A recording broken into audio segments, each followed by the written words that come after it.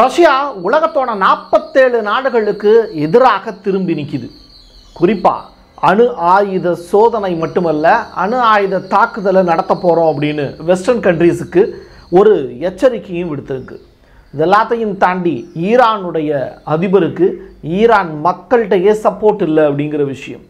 என்னைய கேட்காம யார்கிட்ட போய் பேசிட்டு வந்த நீ அப்படின்னு கமினி அவர்கள் பெஜஸ்கியான பார்த்து என்ன சொல்லியிருக்காரு அப்படிங்கிற விஷயம். இதெல்லாம் கடந்து அமெரிக்கா ரஷ்யாவுக்கும் ஆயுத சப்ளை செய்யுதுன்னு சொன்னால் நீங்கள் நம்பவா போகிறீங்க ஆதாரம் கொடுத்தா நம்பி தானே ஆகணும். வாங்க பார்க்கலாம் உறவுகளே இது பிரசாத் சிக்னேச்சர்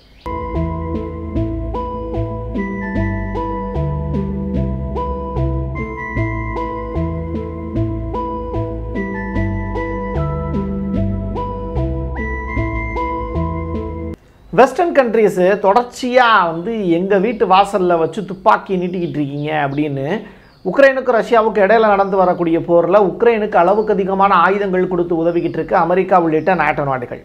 இதை தடுத்து நிறுத்தக்கூடிய வகையில் புட்டின் தொடர்ச்சியாக அதிரடியாக சில காய்களை நகர்த்தி வருகிறார். இதெல்லாம் கடந்து அணு ஆயுதங்களை அடுத்து பயன்படுத்த போகிறோம் அப்படின்னு ரஷ்ய அதிபர் புட்டின் விடுத்திருக்கக்கூடிய எச்சரிக்கை தான் இப்போது நேட்டோ நாடுகளை கதிகலங்க வச்சுருக்கு. இவர் சொன்னால் செஞ்சிருவார் அப்படிங்கிறதுக்கு உதாரணம் என்ன சொல்லட்டா? ரெண்டாயிரத்தி இருபதுலையே சட்டம் ஒன்று மாற்றி அமைச்சாங்க. அது என்ன அப்படின்னா அணு ஆயுதங்களை எப்போ பயன்படுத்தலாம் அப்படின்னா ஒரு நாடு ரஷ்யா மீது தாக்குதல் நடத்துவதற்கு முயற்சி பண்ணுது அப்படின்னு தெரிஞ்சாலே அட்டாக் பண்ணலாம் அப்படிங்கிறது தான் அந்த அதிபயங்கரமான சட்டம். அப்படி இருக்கும்போது புட்டின் சொன்ன விஷயத்தை நீங்கள் யோசிச்சு பார்த்துக்கோங்க. என்னைய நீ சுட போகிறான்னு எனக்கு தோணுச்சு அப்படின்னாலே நான் உன்னை சுற்றுவேன் அப்படிங்கிறது தான் புட்டினுடைய பாலிசி அந்த வகையில் புட்டின் சுட போகிறது யார்? அப்படிங்கிற கேள்வியை கேள்வியாகவே வச்சுக்கலாம். ட்ரம்ப்பு இந்த ஜெலன்ஸ்கியை பார்த்து ஒரு ஸ்டேட்மெண்ட் சொல்லியிருக்கார். குடியரசுக் கட்சியினுடைய வேட்பாளராக களமிறங்கி இருக்கக்கூடிய ட்ரம்ப் அவர்கள் மீது ஏற்கனவே துப்பாக்கிச்சூடு தாக்குதல்லாம் நிகழ்த்தப்பட்டது. அதில் எல்லாம் இருந்து தப்பிச்சு வந்துட்டு இப்போது பாருங்கள் ரெண்டு சைட்லேயும் போர் நடந்துக்கிட்டு இருக்கு. நான் அதை நிறுத்தி காட்டுவேன் அப்படின்னு சவால் விடுத்துக்கிட்டு இருக்காரு.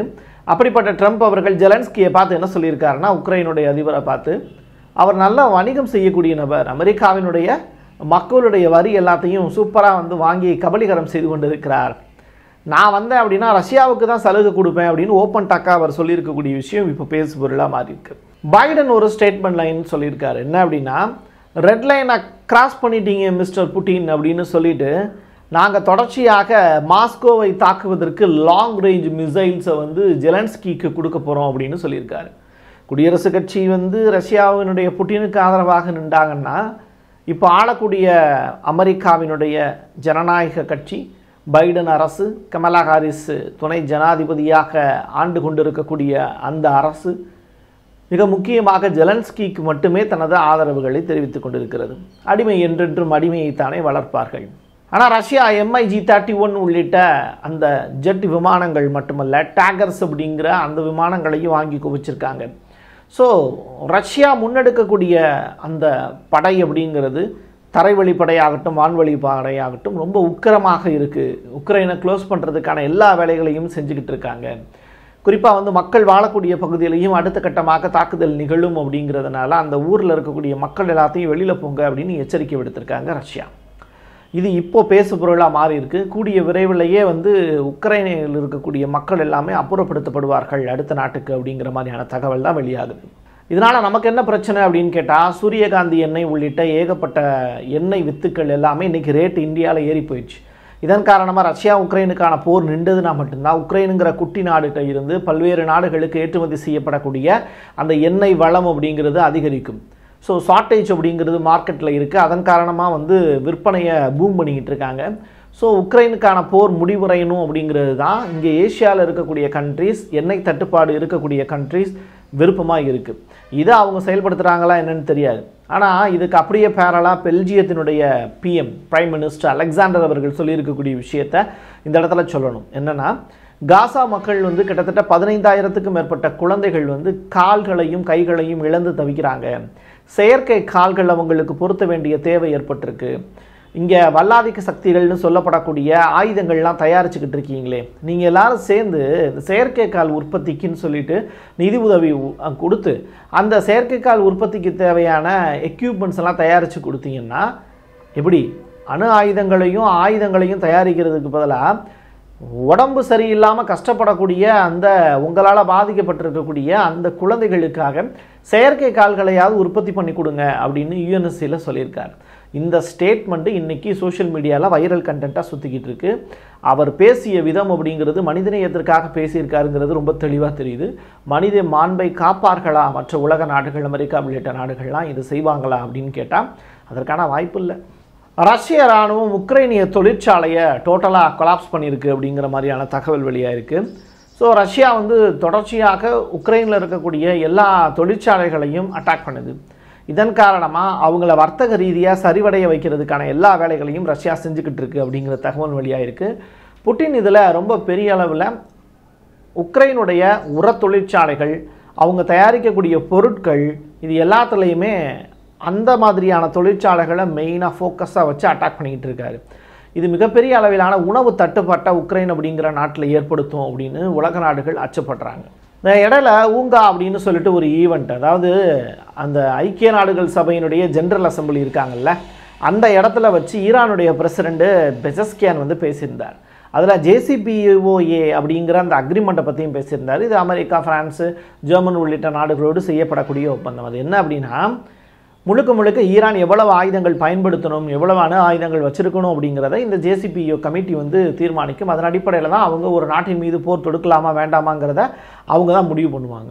இப்படி ஒரு நிலை இருக்கிறதுனால இதை பார்த்து பயந்து போயிருக்கக்கூடிய ஈரான் அரசு ஒரு புறம். ஆனால் ஈரான அரசை இப்போ வழிநடத்தக்கூடிய கம கமினி அவர்களுக்கு இதில் உடன்பாடு கிடையாது. யாரை கேட்டு நீ இதை போய் அங்கே போய் பேசுன அப்படிங்கிற மாதிரியான விஷயங்கள் இப்போ பேசு பொருளாக மாறி இருக்குது ஈரான் மக்களும் பெஜஸ்கியான பதவியை விட்டு நீக்குங்கள் அப்படிங்கிற மாதிரியான ஸ்டேட்மெண்ட்டை சோஷியல் மீடியாவில் பதிவு செஞ்சுக்கிட்டு இருக்காங்க. மேற்கத்திய அடிமை அப்படிங்கிற வார்த்தையை அவருக்கு பட்டமாக சூட்டி கொண்டிருக்கிறார்கள். தொடர்ச்சியாக கமினி அவர்களுடைய பேச்சுக்கள் வேறு மாதிரியாகவும் பெஜஸ்கியான் அவர்களுடைய முடிவுகள் வேறமாகவும் இருக்கிறதுனால ஈரான் முழுக்க முழுக்க இஸ்ரேல் மீது போர் தொடுக்க முடியாத துர்பாக்கியமான நிலை அப்படிங்கிறது இப்போ உருவாக்கியிருக்கு. இது ஆரோக்கியமானதா இல்லை அடிமைத்தனத்துக்கு அடுத்த கட்டமாக இருக்கக்கூடிய நிகழ்வுகளாங்கிறது நமக்கு தெரியாது. பட் ஈரான் மக்கள் வந்து பெஜஸ்கியான விரும்பலை. தேர்ந்தெடுத்தது என்னவோ மக்கள் தான் ஆனால் அதில் ஐம்பது சதவீதத்துக்கு மேற்பட்ட மக்கள் வந்து பெஜஸ்கியான விரும்பலை அப்படிங்கிறது தான் யதார்த்தமான உண்மையாக இருக்குது ரஷ்யா சீனாவில் ஒரு ட்ரோன் தொழிற்சாலையை நிறுவுறாங்க. இந்த ட்ரோன் தொழிற்சாலைகள் எதுக்கு பயன்படும் அப்படின்னா ரஷ்யா போர் செய்வதற்கு ட்ரோன்கள் அதிக அளவில் சீனாவில் இருந்து இறக்குமதி செய்யப்படும். இப்படி ஒரு வாய்ப்பு வரும்போது உக்ரைனை எளிமையாக ரஷ்யாவால் வீழ்த்த முடியும் அப்படிங்கிற ஒரு விஷயம். இந்த அறிவிப்பு வெளியான உடனே அந்த ட்ரோனை பற்றிய செய்திகள் பேசுபொருளாக மாறுச்சு. அதனுடைய பேர் என்ன அப்படின்னா கார்பியா த்ரீ அப்படிங்கிறது தான். இது ரெண்டாயிரம் கிலோமீட்டர் டிராவல் பண்ணி ஆள் இல்லாத விமானம் மூலியமாக இயங்கி அதை அட்டாக் செய்ய வல்லது. ஐம்பது கிலோ எடை வரைக்கும் அதில் வெடிபொருட்களை நிறுத்த முடியும் அப்படிங்கிறது தான் இந்த ட்ரோனை பற்றிய சொல்லப்படக்கூடிய செய்தி. இதை கேட்ட உடனே அமெரிக்கா அதிர்ச்சி ஆகுது சீனாவுக்கு கண்டனம் தெரிவிக்குது. ஆனால் சீனா வந்து அப்படி ஒரு ட்ரோன் தொழிற்சாலை இங்கே சீனாவில் கிடையாது அப்படிங்கிறாங்க. பட் ரஷ்யா வந்து இதற்கு மறு மறுப்பு தெரிவிக்காமல் மௌனமாக இருக்குது அப்படிங்கும்போது ஒருவேளை தயாரிச்சுக்கிட்டு இருப்பாங்களோ அப்படின்னு தான் நினைக்க தோணுது. சீனாவினுடைய செய்தி தொடர்பாளர் லீ பெங்கியா இந்த நியூஸை கேள்விப்பட்டோம்னா அவர் என்ன அதிர்ச்சிகரமான செய்தி சொல்கிறாரு அப்படின்னா சீனாவில் ஏதோ ட்ரோன் தொழிற்சாலை ரஷ்யா வச்சுருக்காங்கன்னு சொல்லிட்டு நீங்கள் பேசிகிட்டு இருக்கீங்க. அமெரிக்கா ரஷ்யாவுக்கு தேவையான ஆயுதங்கள் தயாரிக்கிறதுக்கு தேவையான உதிரி பாகங்கள் எல்லாமே உங்கள் நாட்டிலிருந்து தானே வந்துக்கிட்டு இருக்கு. அதை நீங்கள் தடுத்து நிறுத்துவீங்களா? உங்களுக்கு வருமானம் வேணுங்கிறதுக்காக நீங்கள் என்னனாலும் செய்வீங்க. போரையும் தூண்டி விடுவீங்க போரையும் நடத்துவீங்க. போரில் ஒருத்தவங்க செத்து போயிட்டாங்கன்னா அவங்களுக்கும் இரங்கல் தீர்மானம் வாசிப்பீங்க. யாரா நீங்கள் அப்படிங்கிற மாதிரியான கேள்விகளை இப்போது சீனாவினுடைய செய்தி தொடர்பாளர் கேட்டிருக்காரு. இந்த கேள்விக்கு பதில் வந்து அடுத்து இன்னொரு நாட்டிலிருந்து வருமா? இல்லை இதோடு இந்த எப்பா என்னத்தை சண்டை போட்டுக்கிட்டு நமக்குள்ள அப்படின்னு சொல்லிட்டு முடிச்சிருவாங்களா அப்படிங்கிற கேள்விகளும் நமக்கு இருக்குது நியூஸ் வீக்கில் வெளியாக இருக்கக்கூடிய இந்த ஒரு செய்தி ஒரு புறம் இருக்க இன்னொரு புறம் என்ன அப்படின்னா ரஷ்யாவும் அமெரிக்காவும் வெளியில் தான்ப்பா ரொம்ப பெரிய அளவில் எதிரி மாதிரி காமிச்சுக்கிறாங்க. உள்ளுக்குள்ளே நண்பர்களாக தான் இருக்காங்க. உதாரணத்துக்கு வந்து இப்போது சர்வதேச விண்வெளி நிலையத்திலிருந்து ஒரு டீம் வந்து வந்தது இல்லையா? அதில் ரஷ்ய விண்கலம் தான். அதில் வந்து பார்த்திங்கன்னா அமெரிக்கர்களும் சேர்ந்து தான் வந்திருக்காங்க. இதுக்கெலாம் ரஷ்ய அதிபர் புட்டினுக்கு வந்து இந்த தகவல் போகாமலாம் இருக்கும். அவர் வந்து ஓகே சொல்லாமலாம் இதெல்லாம் நடக்கும் அப்படிங்கிற கேள்விகள் இருக்குது அது மட்டும் இல்லை அமெரிக்காவால் முடியலைங்கிறதுனால ரஷ்யா கிட்டே இந்த ஹெல்ப்பை கேட்டிருக்காங்க. ட்ரேசி டைசன் அப்படிங்கிற அந்த குழுவினர் வந்து முழுக்க முழுக்க ரஷ்யாவினுடைய விண்கலத்தில் இப்போ ட்ராவல் பண்ணுறாங்க மூன்று அமெரிக்கர்கள் ரெண்டு ரஷ்யர்கள் சேர்ந்து இந்த சோயூஸ் அப்படின்னு சொல்லப்படக்கூடிய ரஷ்யாவினுடைய விண்கலத்தில் ட்ராவல் பண்ணி இப்போ பூமியை வந்தடைஞ்சிருக்காங்க. அமெரிக்காவினுடைய போயிங் அப்படின்னு சொல்லப்படக்கூடிய அந்த விமானம் அப்படிங்கிறது ஃபால்ட்டாகிருக்கு ஸோ சர்வதேச விண்வெளி நிலையத்தில் இருக்கக்கூடிய அந்த கிராஃப்ட் ஸ்பேஸ் கிராஃப்ட் அப்படிங்கிறது ஃபெயிலியர் ஆனதுனால பறக்கும் தட்டுக்கள் அடிப்படையில் அது ரொம்ப பெரிய அளவில் டேமேஜ் ஆகிருக்கு சுனிதா வில்லியம்ஸ் முதற்கொண்டு இன்ன வரைக்கும் நிறையா பேர் உள்ளே இறங்க முடியாமல் இருக்காங்க.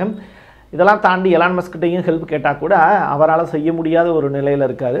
அவர்கிட்ட இருக்கக்கூடிய ஏழாயிரத்துக்கும் மேற்பட்ட சேட்டலைட் மூலிமா உலகின் பல்வேறு நாடுகளுக்கு வான்வெளியிலேயே தொந்தரவு இருக்குங்கிறாங்க. பணம் மட்டுமே ஒருவனை அறிவாளியாக்கி விட முடியாது அப்படிங்கிறதையும் அமெரிக்கர்களை மீட்டு கொண்டு வருவதற்கு எலான் மஸ்காலேயே முடியல அப்படிங்கிற ஒரு விஷயமும் அதை ரஷ்யா செய்திருக்கிறது அப்படிங்கிறது ரஷ்யாவுக்கு கூடுதல் பலமாக பார்க்கப்படுகிறது. என் கையெழுத்து என் மக்களுக்கானது உறவுகளே மீண்டும் ஒரு பதிவில் சந்திக்கலாம். நன்றி வணக்கம்.